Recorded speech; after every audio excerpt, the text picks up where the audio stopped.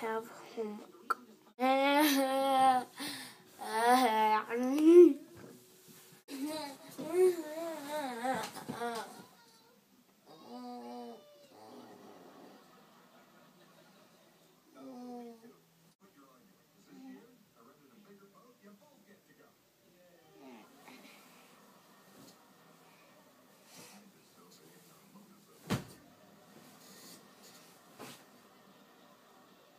I don't like homework.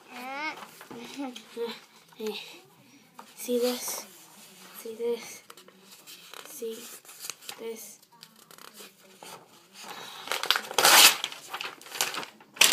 Homework sucks. Made homework.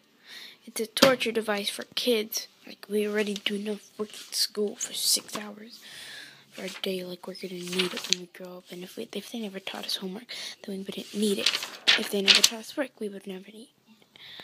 Uh, ouch. Mm.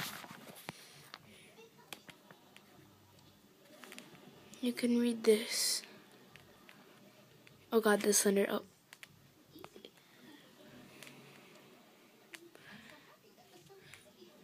Guess what story it is?